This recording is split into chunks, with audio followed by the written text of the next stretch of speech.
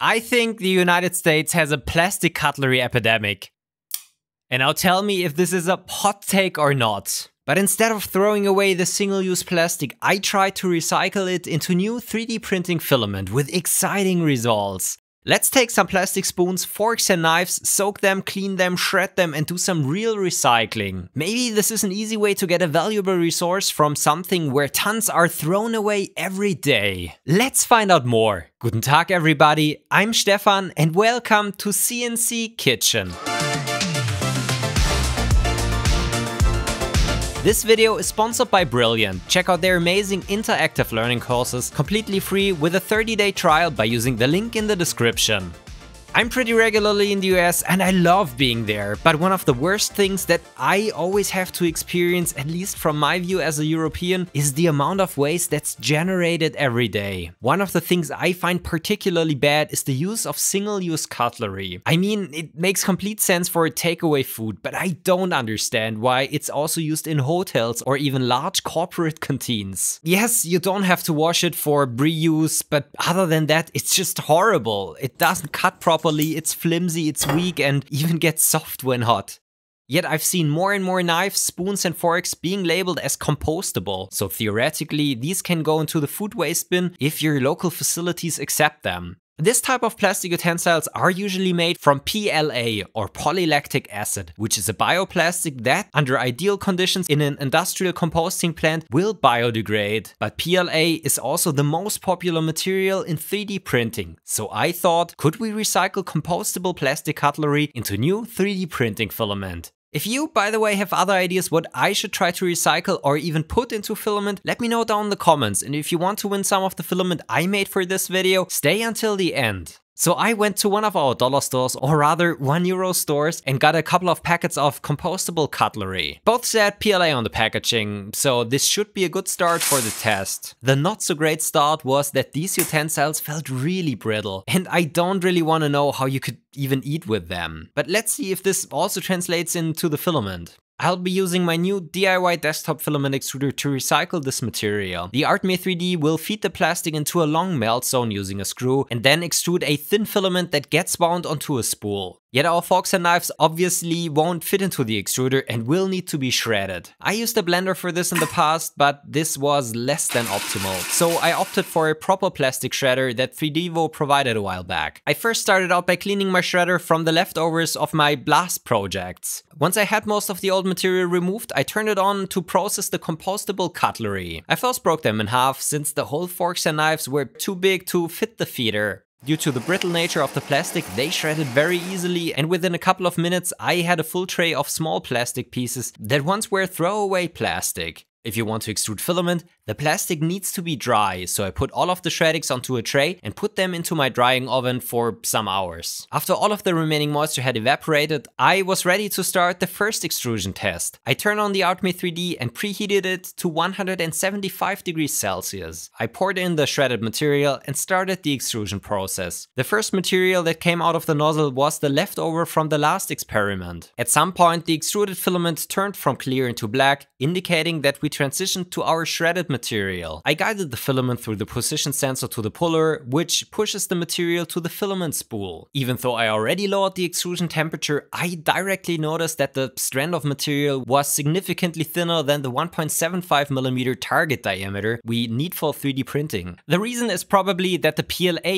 used for the cutlery is meant for injection molding. These types are thinner in consistency when molten to easily flow into the molds, since we rather need a gooey consistency, we can combat that by decreasing the temperature. So I lowered the temperature to only 170 degrees Celsius, but I didn't get over 1.5 millimeters in diameter. This was still a bit away from ideal, but if it's consistent, we can correct for a thinner filament during printing by increasing the flow rate. So I started the spooling process. Usually you simply feed the end of the filament through a small hole on the side of the spool and bend it over to fix it in place. Yet similar to the utensils we started with, Also the filament was really brittle and just snapped off when I tried to bend it over. So instead of bending it, I simply used a bit of tape to fix it to the spool, which allowed me to start the winding process. Since the filament diameter was still around 1.5 to 1.6 millimeters, I decided to further decrease the temperatures to only 165 degrees Celsius. This worked okay for a bit until I think the temperature dropped even lower than the set value and the molten plastic got so thick that it didn't extrude consistently anymore. And I was able to see even pieces of unmolten material on the strand. Once this deformed material reached the reel, it cracked and part of the already spooled material unwound. So I slightly increased the temperatures again, removed the failed attempt and reattached a new end to the filament spool. Then I left everything as it was and tried to wind as much filament as possible, made from 100% plastic cutlery.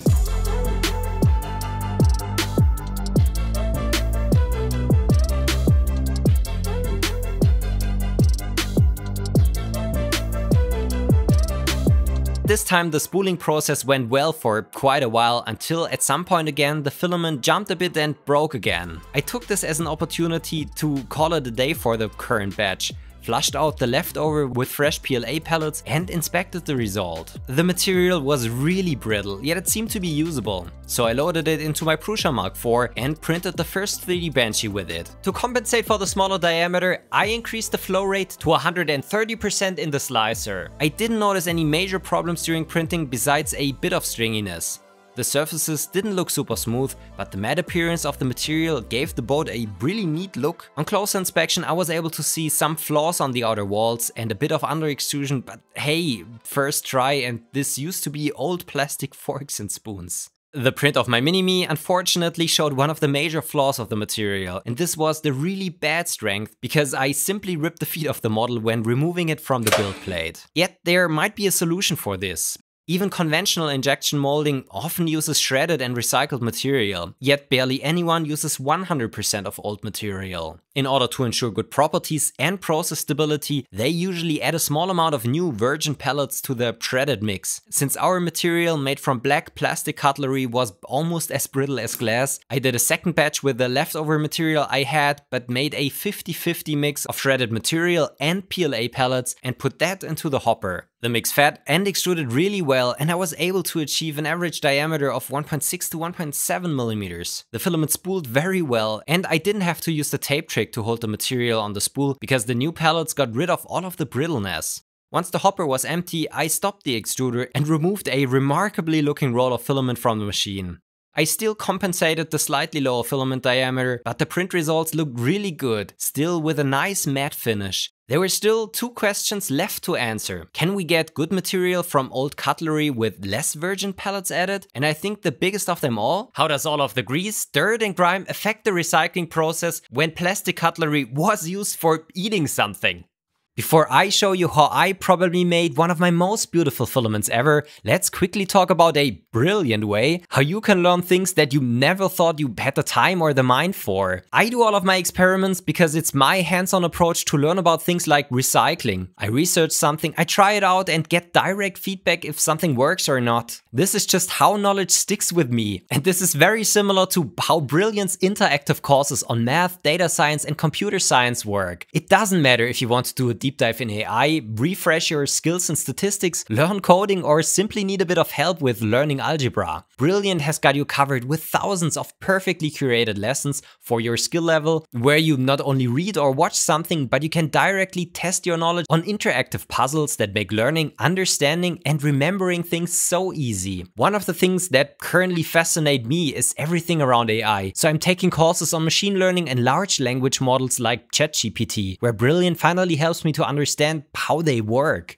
What's great is that you can access Brilliant on any of your devices, fitting learning into just a few minutes of your day. With Christmas around the corner, it's the perfect time to start. By visiting brilliant.org slash cnckitchen or using the link in the description, you get a 30-day free trial of Brilliant Premium, an ideal way to spend your holiday downtime. And hey, if you're looking for a last-minute Christmas present, why not gift a Brilliant subscription? I highly recommend checking them out using the link below.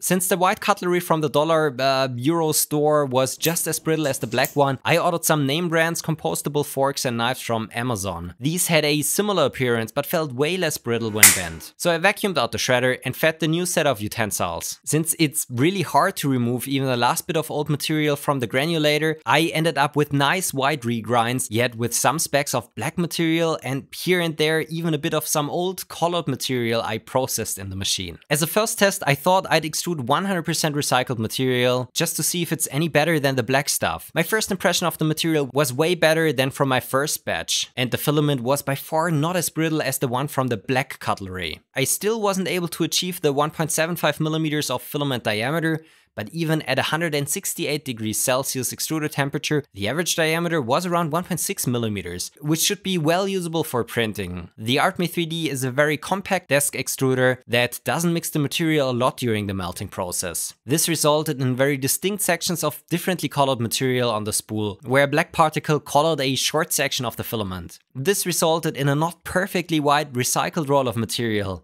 but I in a way really like the look of it, giving the material a unique, slightly dirty recycled appearance. The material itself printed really nicely with standard PLA settings and only a bit of higher flow due to the lower diameter. The material contamination led to some really interesting streaks on the prints that I honestly don't mind at all. The surfaces were smooth with a matte finish and even though we worked with 100% recycled material, I couldn't spot a lot of diameter variation on the parts. But Stefan, you may ask, isn't using clean forks and spoons right from the package totally unrealistic when you're saying that this could be a way to recycle post-consumer plastic?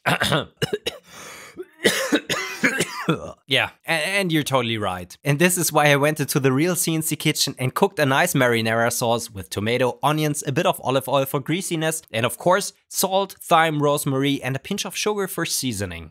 Once this simmered for a bit, I poured it over a bunch of plastic cutlery, made sure that all sides were covered and let it sit for a night. The next day I washed the cutlery by hand in our sink so that no big chunks of tomato were still on the utensils and then let everything dry. Back in the studio I threw everything into the shredder and then dried the regrinds in the oven. If anyone wonders, the material still had a light smell of the herbs I used for the marinara, but nothing really dominant. I wanted to make the last batch perfect, since our initial test with the white material showed that it was less brittle and significantly easier to get to the right diameter, I only added a small portion of fresh pellets. I weighed 200 grams of shredded material and added 40 grams, so 20% of virgin PLA pellets. In order to make the material look even nicer, I also wanted to add a bit of color. I weighed in 2% of red master batch, which Das Filament very kindly provided years ago. When mixing everything up, it didn't look like a lot, but that master batch is very highly concentrated pigments and should be enough for some good coloring. I heated up the extruder for a last time, poured in my mixture of regrinds, fresh pellets and master batch and started the extrusion process. It took a bit until the old material was purged out and initially the filament was only white, Yet shortly after, I was able to spot that it slowly transitioned to a nice pastel red color. I guided the filament to the puller and after checking that the diameter was consistent, I started the spooling process. And oh boy, did the filament look beautiful.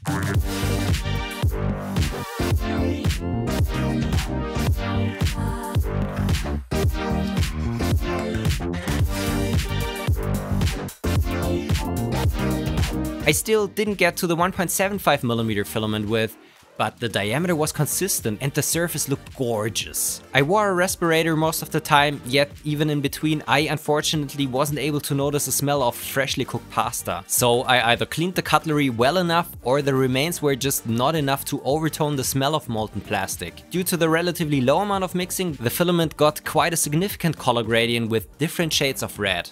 I didn't notice any problems extruding this material which bathed in marinara for a night. The virgin pellets might help, but I think if you make sure that everything is the same type of plastic and properly clean and dry, there aren't that many things happening to the plastic. Even after printing the samples, I still have something left over that I'll be giving away to two of you. So if you want to win this one-of-a-kind recycled material, make sure to be subscribed and leave a comment below on what you'd like to see me recycle or put into filament next. In two weeks, the two most upvoted comments will be sent a sample of this. And to give you an idea of how good this recycled filament made from old plastic cutlery prints, just look at this 3D Benchy and the mini Stefan that I printed. The surfaces are super clean with a very matte appearance, just like the forks and knives initially had. There are no real artifacts due to the smaller and slightly inconsistent filament diameter and the red gradient on the material is just super gorgeous. Or what do you think?